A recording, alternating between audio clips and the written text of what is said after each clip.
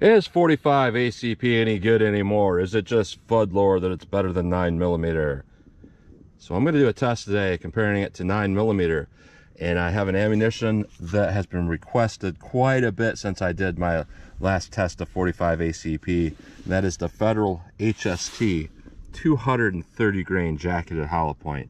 It is a plus P, as is the 9mm. The 9mm is a 124 grain plus P 9 millimeter. And honestly, I think that's one of the best 9 millimeters that exists nowadays.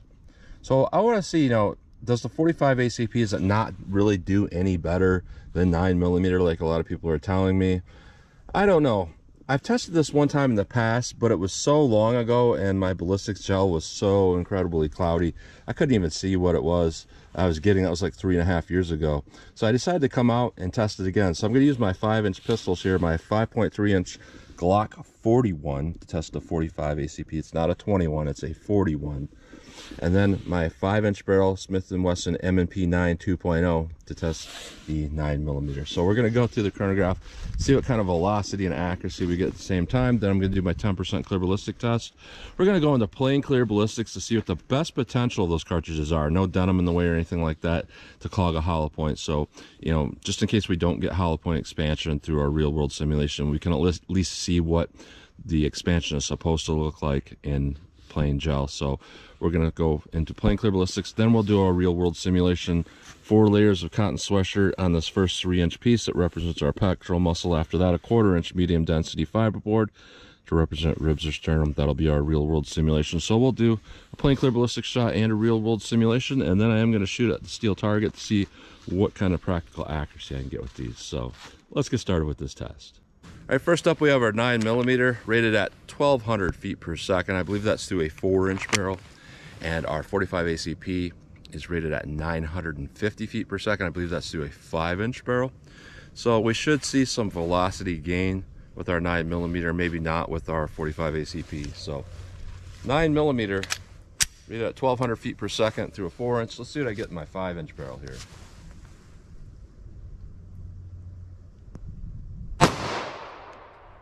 Twelve ninety two. 1290 1273 1280 1267 so we have very good velocity for what that is.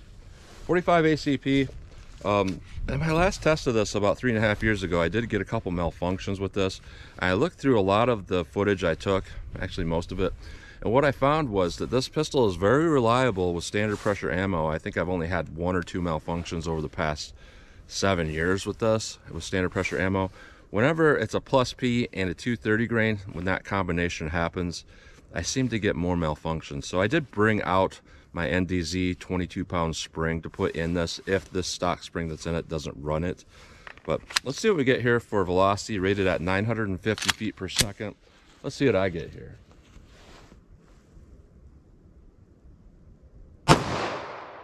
932, 968, 969, 980, 990. So really good velocity overall. And it seems to run thus far. So let's hit our ballistics gel block and see how these compare. All right, first shot into a plain clear ballistics. We'll do our 9 millimeter, then our 45 ACP. No denim in the way to clog a hollow point. Let's see if it gets our 9 millimeter here. All right. Set that with our 45 ACP. Let's go take a look.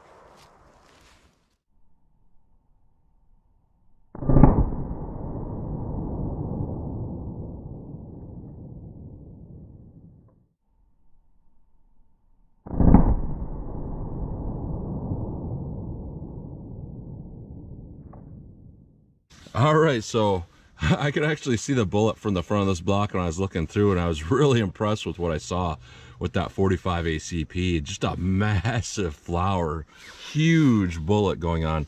And the 9 millimeter is, is big too, but like the, the 45 didn't even tilt very much as where the 9 millimeter did the typical thing of wanting to kind of tilt a little bit after expanded. Both of these did fantastic in plain gel. we can definitely see some energy dump with the 9 millimeter on the bottom and the 45 on top. Typically, we don't get a whole lot of energy dump with 9 millimeter, and that's why for years I've kind of not liked it, but I've noticed with, with HST, we typically do get quite a bit of energy dump even with 9 millimeter. Huge amount of tearing going on. Both of them look really good. Our 9mm is a little bit shallow on penetration. We're at about 11 and a half inches. Camera parallax will make it look like that bullet's setting at like 12, 12 and a half inches. But uh, yeah, we're right there about 11 and a half inches. Our 45 ACP has more mass to it, so it's going to push a little deeper, a little more momentum. More momentum. About 14, 14 and a quarter inches of penetration, which is pretty similar to what the old school um, Hydra-Shok got, 230 grain Hydra-Shok and that has a pretty high stopping power number. So I would say both these are doing pretty good. Let's put on our fabric, put in our rib simulation and see how they compare in more of our real world simulation. All right, four layers of cotton sweatshirt, three inches of clear ballistics to represent our pectoral muscle. Uh, clear ballistics is like kind of a half representation of flesh, so it's kind of like um, inch and a half of actual muscle. Then a quarter inch medium density fiberboard to represent hitting ribs or sternum. Let's see what we get with our nine millimeter. All right, let me set that back up and hit it with the 45 ACP. All right, 45 ACP, real world simulation. Let's see what this does. Let's go take a look.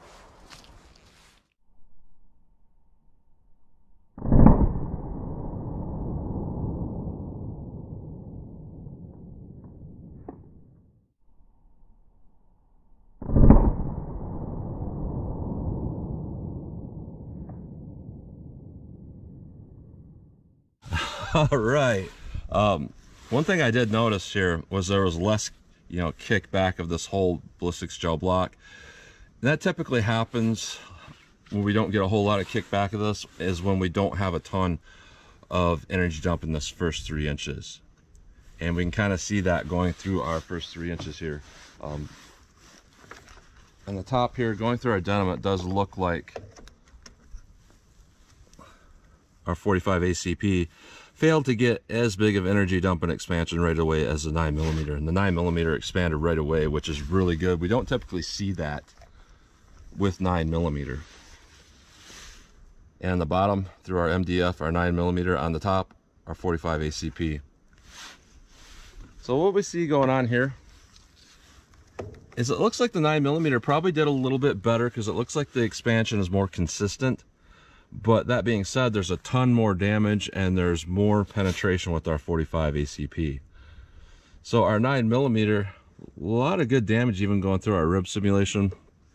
We stopped at a very ideal penetration of 15 and a half inches. Our 45 ACP, this wound track is quite a bit bigger.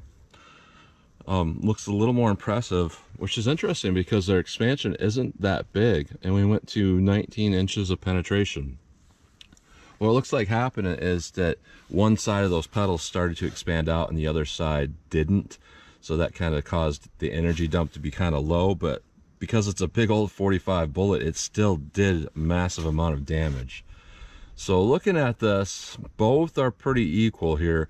I would say, statistically speaking, if we're looking at, you know, getting close to the FBI protocol, I don't do an exact FBI protocol, but getting, you know, close to the numbers they want to see. Our 9 millimeter did kind of better here, except under penetrating in our plain gel shop by, you know, a good half inch. And we kind of over penetrated by an inch with our 45. So looking at all of this here, it's hard for me to tell which one did better. If I had to pick one of these for defense, it's kind of a toss up. I think the 45 in the real world would do a little bit better. It'd be a little bit more effective.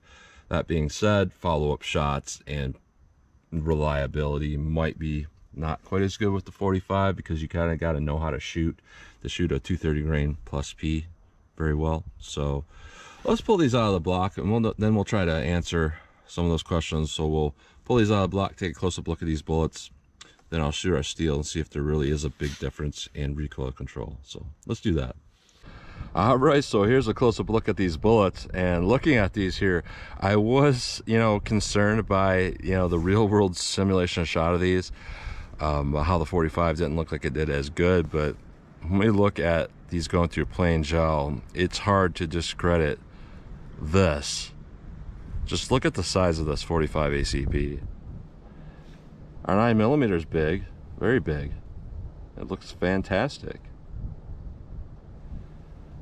But it is very miniature compared to that 45 ACP. That is some massive, wicked expansion. It's funny because the, the the the petals, the jackets around the petals peeled back, but the lead is still sticking out straight, is very impressive. Now, when we look at our shot going through our medium density fiberboard, this is where things change up. Here is our 9 millimeter, very, very typical for an HST or even a gold dot. They do typically shrink down when you hit, um, you know, fabric and rib simulation. That's just how they are. Doesn't mean it's bad. It still did pretty good. Our 45 ACP, not particularly impressive. I haven't measured these yet. I could just about say I think this is probably bigger around than this. So technically it's better but it's not very consistent. And when I'm looking for a good defensive cartridge, I'm looking for consistency. I like to see consistency. You know, in the real world, I think this would probably actually be more effective than this, but you know, it's hard to argue with how good this looks. So a big difference there in our performance between both of these. You know, hollow point expansion is dependent on many different factors, bullet design, bullet material, energy numbers, and velocity you know, typically 45 ACP, you know, you're going to expand it with good energy. But when it comes to velocity, at the end of the day, the velocity makes probably the biggest difference in whether something consistently expands or not. When you hit well over 1200 feet per second, it's very rare that you don't have consistent expansion. And we were well over that with this. Very, very fast velocity, very close to like a plus P plus velocity almost. As for this, we just didn't have enough velocity, but overall, 45 looks so good right there. It's it's hard not to throw these away and say 45 wins. Look at that. Uh, but realistically, I would say if we take into everything into consideration, I think they both did about as good as each other. So that's a close-up look at those. All right, so I'm roughly about 14 yards from the target. I had to back up to block out some of that sunlight, harsh sunlight with the trees. Um, but I'm just gonna get a sight picture, pop off some rounds and see which is easier for me to land on target. And I'm just an average guy here. Uh, a lot of the YouTube trolls recently have told me how I don't know how to shoot or do anything right. So don't think that I'm like an expert here. I'm just a regular dude and I'm just gonna make some shots, see how they feel for me from a regular guy's perspective. So nine millimeter, let's see how I can do with this.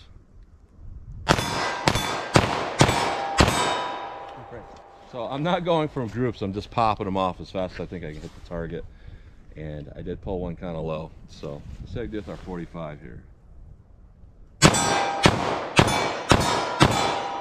I let that second shot kind of go over the target. Um, I kind of didn't control that recoil very well. So I had a miss with both of them. So yeah, the 9 millimeter is a little easier to shoot. Uh, but can't really tell a big difference in overall accuracy with both of these. So let me go back a little bit further and actually aim better with these and see how they do for me for accuracy. All right, so I was gonna come back from maybe 40 yards from the target, but I thought, you know, I got my long slides out today, got a little bit better sight radius than typical. Probably won't see a whole lot different from 40 yards versus 75 yards for my ability to hit the target. So just for fun, let's see what I can do with these. So nine millimeter plus P. See to us, this from 75 yards.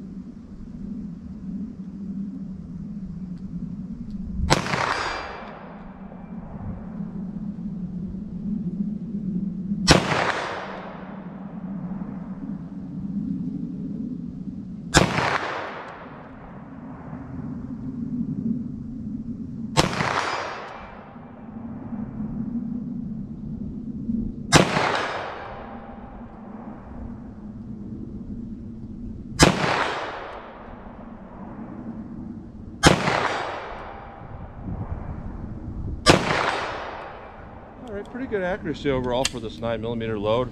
Thoroughly impressed with everything that this 9 millimeter HST plus P can do. Seems like the perfect load. 45 ACP. Let's see if this hits the steel any harder. We'll definitely hit it slower.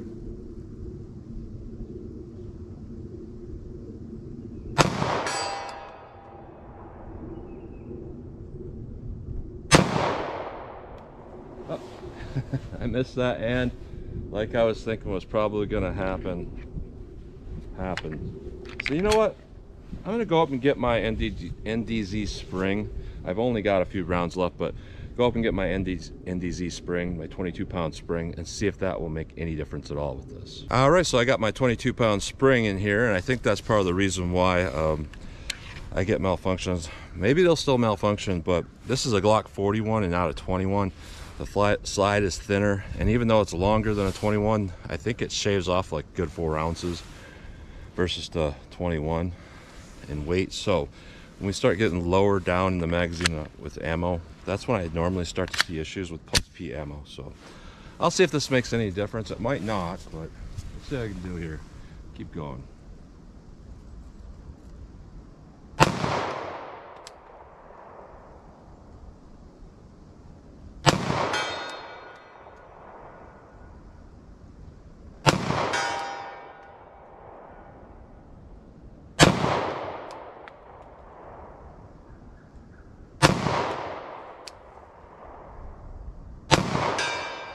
So definitely not as good with that ammo.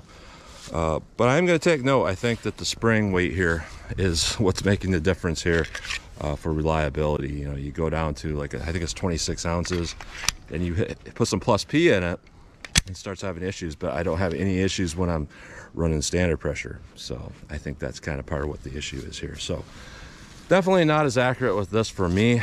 So judging from this test here, if I had to pick one of these to carry, I would pick the 9 millimeter because I think it performed a little bit better in this scenario. 45 ACP plus P is kind of a handful.